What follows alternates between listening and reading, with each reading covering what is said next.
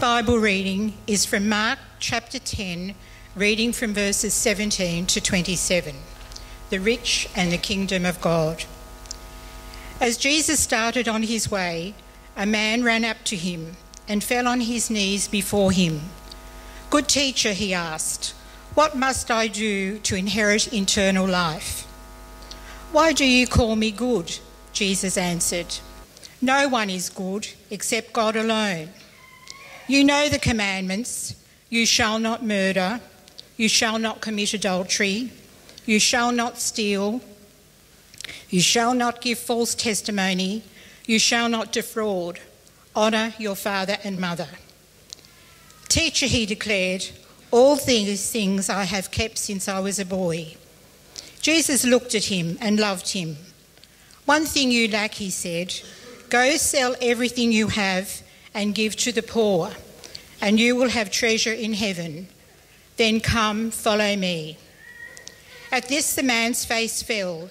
He went away sad because he had great wealth. Jesus looked around and said to his disciples, How hard it is for the rich to enter the kingdom of God. The disciples were amazed at his words, but Jesus said again, Children, how hard it is to enter the kingdom of God. It is easier for a camel to go through the eye of a needle than for someone who is rich to enter the kingdom of God. The disciples were even more amazed and said to each other, Who then can be saved? Jesus looked at them and said, With man this is impossible, but not with God. All things are possible with God. May God bless the reading of his word.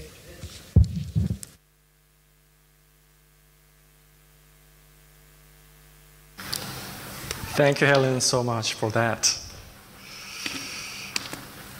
Now, would you join me in prayer as we come to the time of the preaching of the word?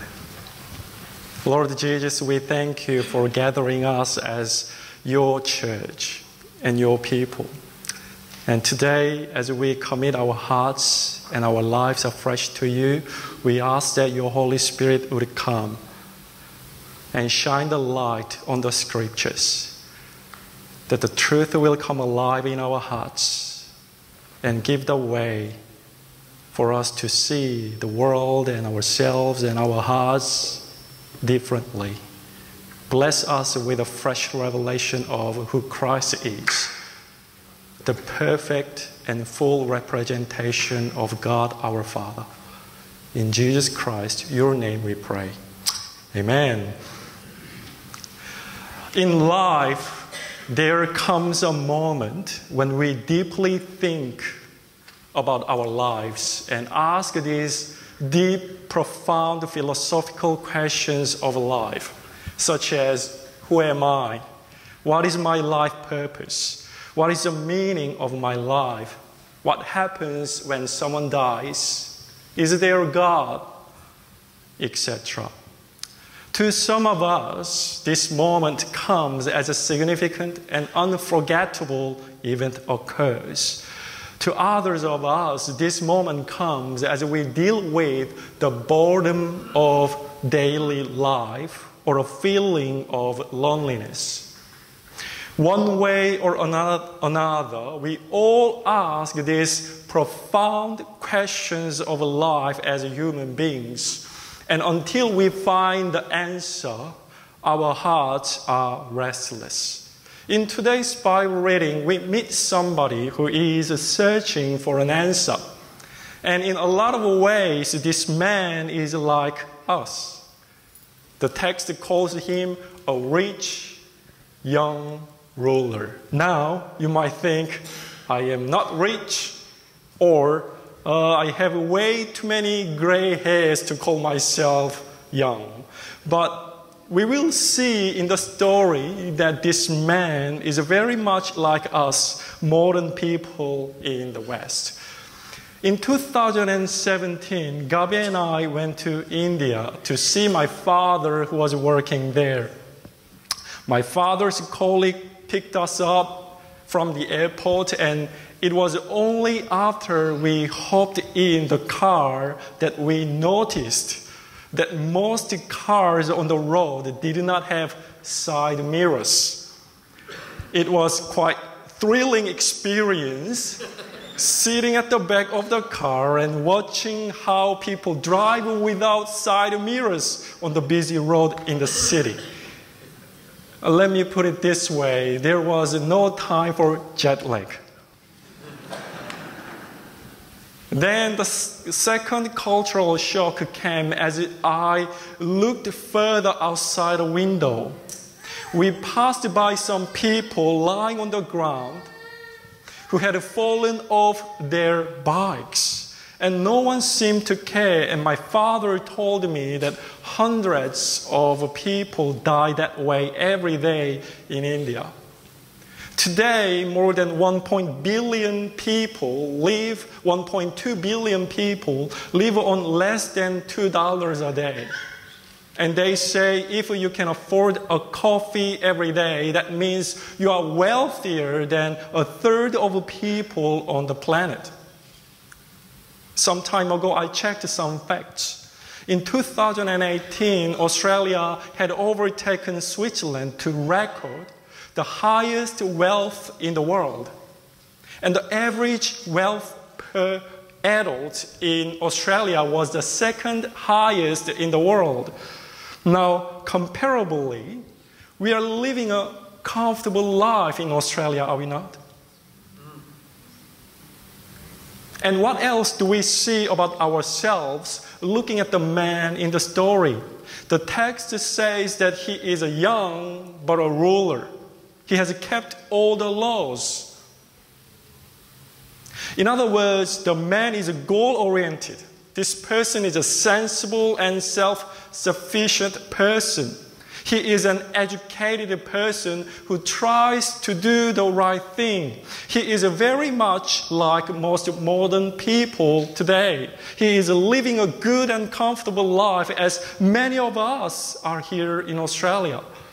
But in the story, man doesn't seem satisfied with his life. He is looking for a deeper meaning and purpose. And he seems quite desperate.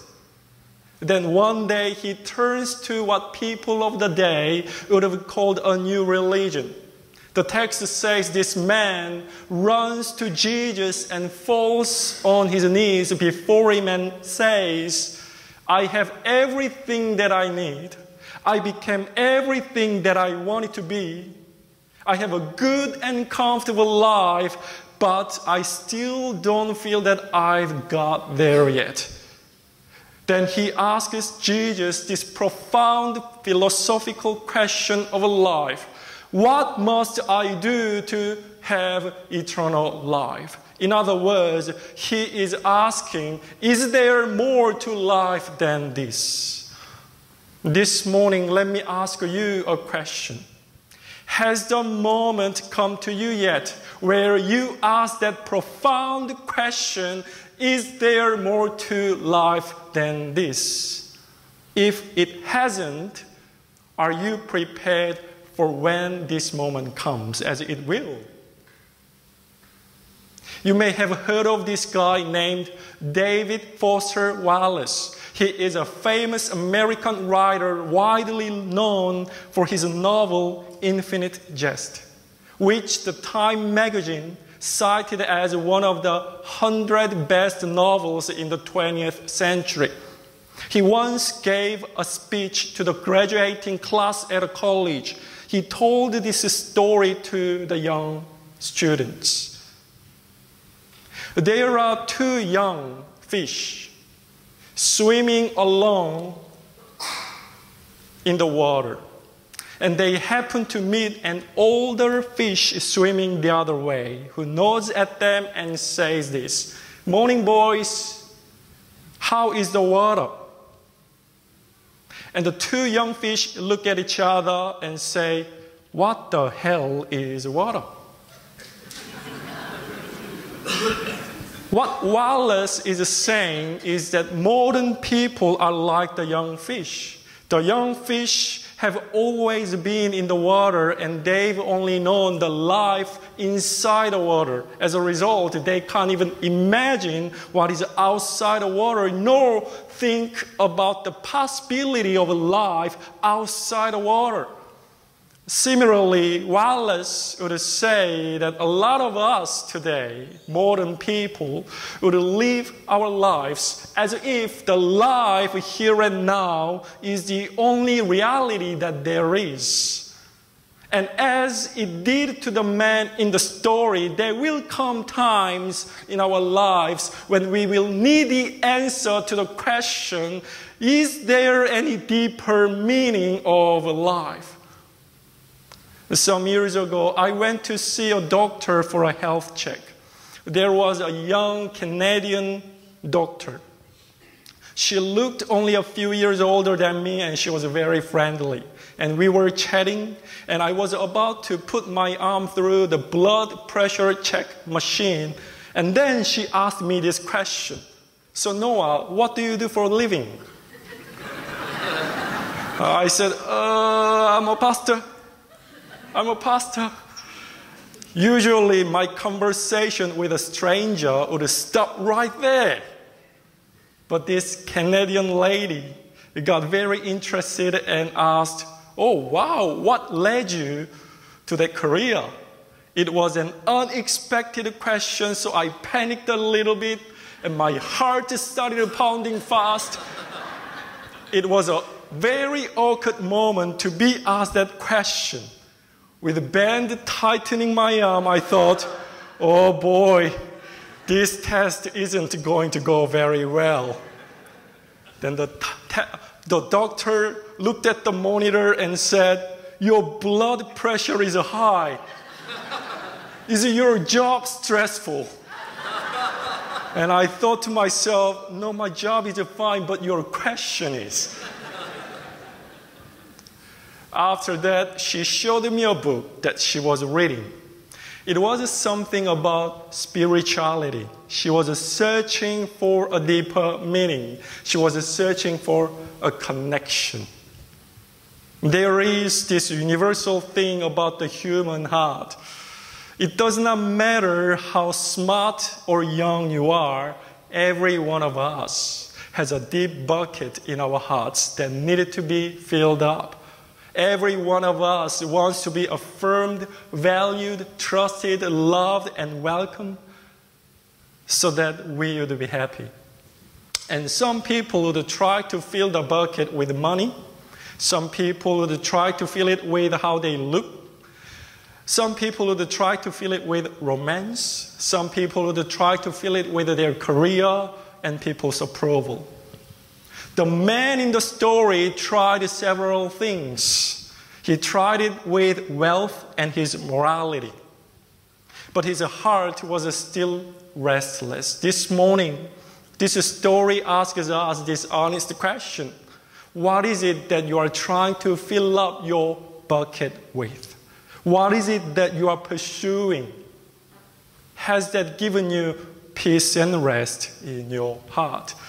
David Wallace, who was not a believer in God, put it this way. He said this In the day to day trenches of life, there is actually no such a thing as atheism. There is no such a thing as not worshiping. Everybody worships. The only choice we get is what to worship. And what we worship will eat us alive. If you worship and things, if they are where you tap real meaning in life, then you will never have enough. Worship your own body and beauty, you will always feel ugly. And when time and age start to showing, you will die a million different deaths because uh, before you find, they finally plant you. Worship power you will feel weak and afraid, and you will need ever more power over others to keep the fear at bay. Worship your intellect. Being seen as a smart, you will end up feeling stupid, a fraud, always on the verge of being found out. Now, some of us might ask, well, that sounds very pessimistic.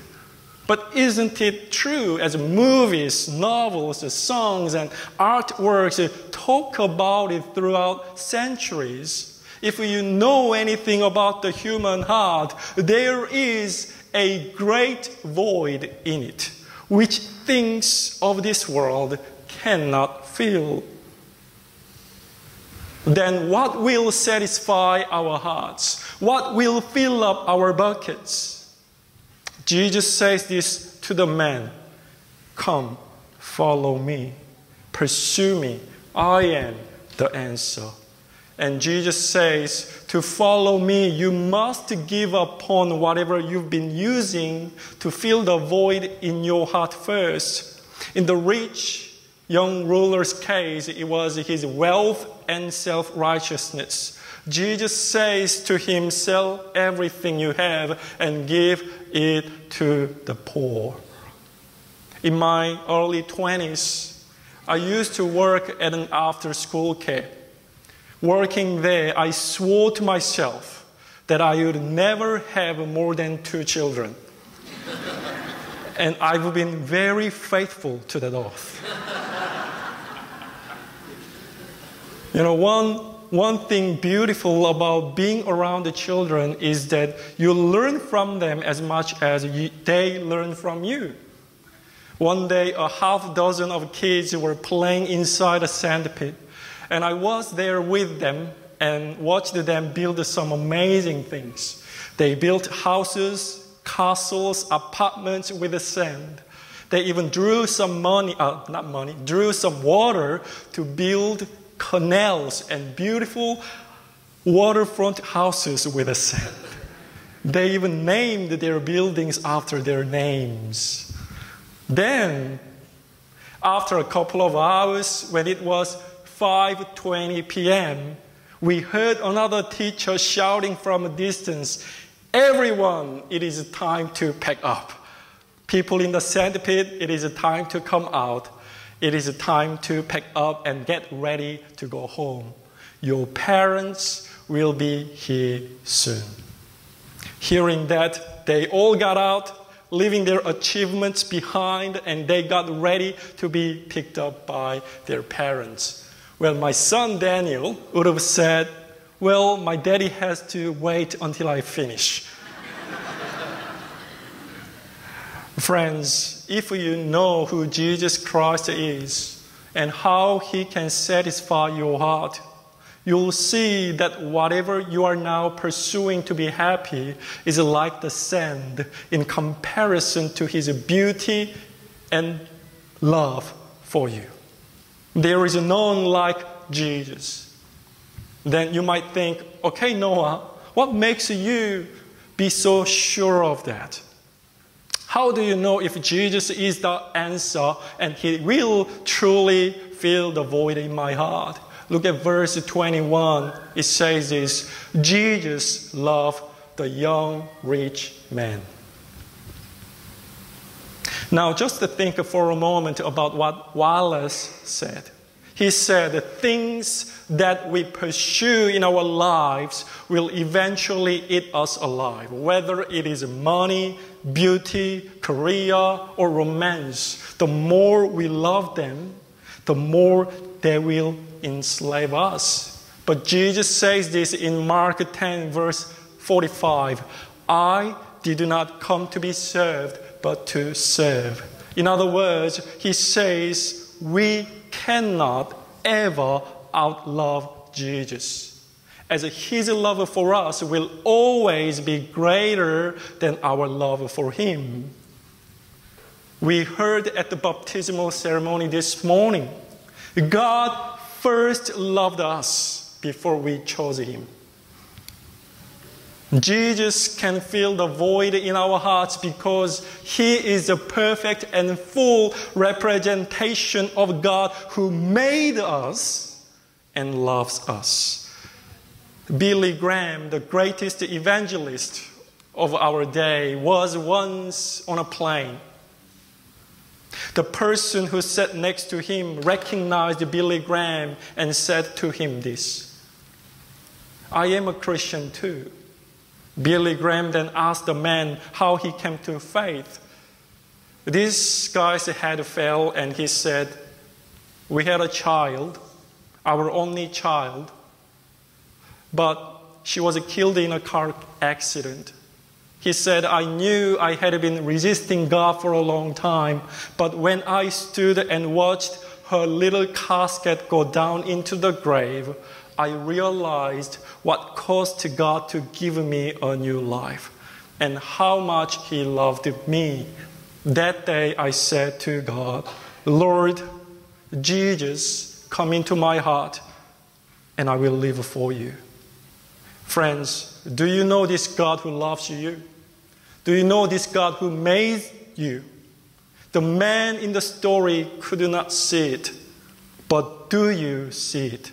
St. Augustine puts it this way Our heart is restless until it rests in God who loves us through Jesus Christ. Where is your heart this morning? Is it resting in God who loves you. The Bible is the greatest love story ever told. It tells us that God gave His Son so that our sins are forgiven and our hearts may be made whole again. The Bible tells us this. When God created the world, it was perfect. Nothing was lacking in the world that He created. But when the first man and woman who God had created decide to be gods themselves and live apart from God, sin entered the world. The separation from the Creator was the beginning of dissatisfaction in the human heart. Then, for God to reconcile with us, our sin had to be dealt with, and the debt of the sin had to be paid. So, what did God do? He decided to take the hit for us. He gave His one and only Son, Jesus, on the cross for your sins and my sins. And then He raised Him to a new life three days later so that you and I would know that the payment is true and is fully made. Can we ourselves make our hearts whole again? Can we save ourselves? Can we stand before God ourselves? It says, with man it is impossible, but Jesus made it possible through his death. Jesus took the hit for you. He died the death you and I deserve so that we may gain his life. Jesus is the way, truth, and life. He is the love that you have been searching for. He is the everlasting hope. He is your joy, and He is the way to your Creator and eternal life. Jesus Christ is the one that will fill your heart this morning, do you know Him? Is your heart resting in Him and on Him? If you don't, would you not welcome Him into your heart? This morning, I believe we have a moment. I usually ask people to close their eyes to make this public declaration but today I'm going to ask you to do something bold and express yourself boldly before your people. If you have not received Christ and asked Him to come into your heart yet, and if you'd like to do that today, in front of people who love you, support you, and would pray for you, would you stand? Would you stand where you are if you'd like to welcome Jesus into your heart? I'll give you a few moments. Christ died for you. He gave you a new life. And in Him there is new life. And your life will be made whole again in Christ. If that is you this morning, would you stand where you are so I can pray for you? The reason why I'm asking that we are doing this in public is because you are going to remember this moment for the rest of your life. And people in this room will remember this for the rest of their life and think about you and pray for you.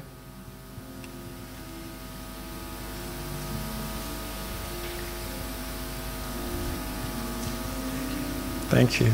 Thank you. Thank you. Great decision. I'll give a few more minutes. Stand where you are. Great decision.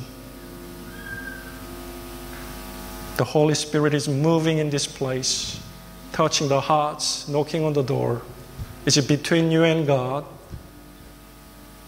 You'll remember this moment for the rest of your life. The precious moment, wonderful moment. Great decision. Thank you, sir.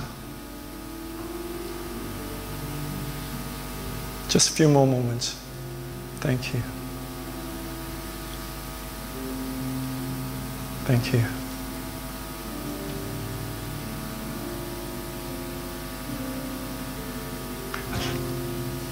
Is there anyone else? Holy Spirit, come, move, touch the hearts. Father, we thank you for your presence and the way that you minister to us. We give our hearts to you afresh, knowing that you're a God who loves us and fills our hearts. And today is the new day for these friends and for us as a church congregation. Do your work. We thank you for the gift of life and the way that you've expressed that love to us in Jesus Christ.